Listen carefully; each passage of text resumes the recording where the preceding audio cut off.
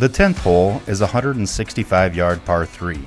Your tee shot plays downhill, but short is the only good miss, and there are several slopes to the right and rear of the green.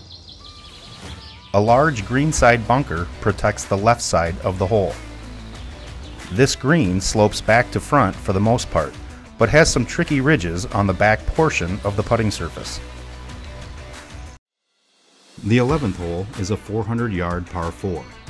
A 90 degree dogleg right makes your tee shot critical. Most will elect to hit a shot to the bottom of the hill and then play across Draper Creek with their second shot.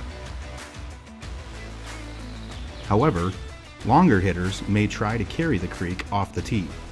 Your second shot will play uphill and may require extra club. The green has several tricky pin locations, so be sure to leave yourself below the hole.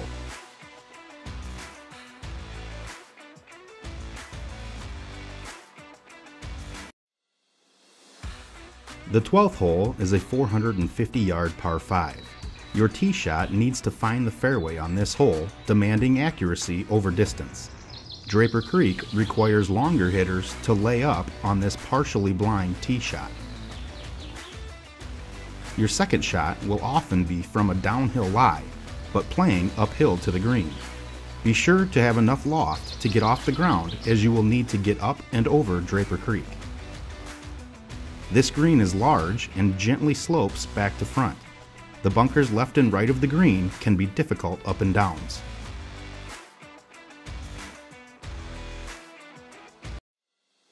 The 13th hole is a 145 yard par 3.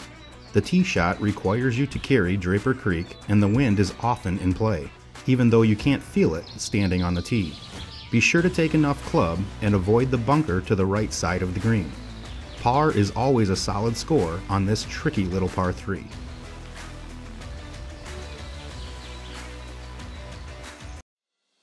The 14th hole is a 488 yard par 5. This is a solid par 5 with some decision making built into it. While reachable for the longer hitter with a drive favoring the right side, most golfers will elect to lay up short of Draper Creek with their second shot. This will leave between 100 and 150 yards to a well protected green with bunkers both right and left. All putts work toward the front left portion of the green, so place your approach accordingly.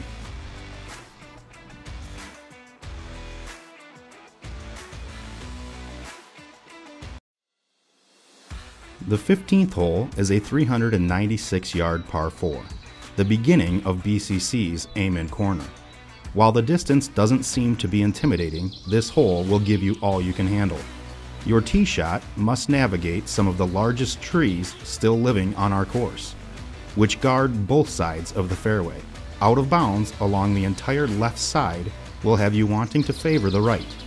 Be sure to take a mandatory free drop off the effigy mounds marked on this hole.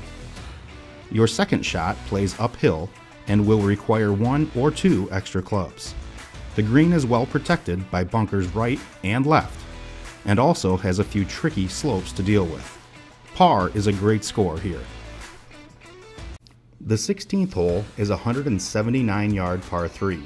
One of our longer par 3s, this hole requires a shot which carries the hazard. There is plenty of green to give your ball room to stop, but the deep green also makes club selection important to get it close. Swirling winds are sometimes unnoticed from the tee, so be sure to take plenty of club. You may have an opportunity to hit one of your longest putts of the day on this monster green.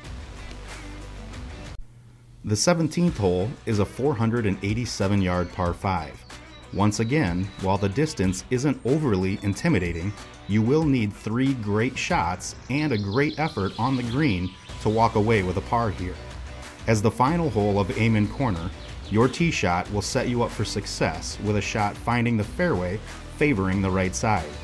Your second shot is a layup to the left of the giant silver maple, leaving you between 100 and 150 yards straight uphill to the green. You will want to play your third shot to the front left side of the green as everything will release to the right when it lands.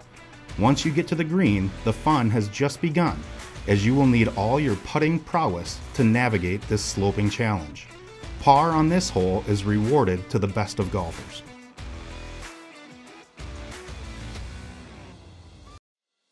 The 18th hole is a 332 yard par 4.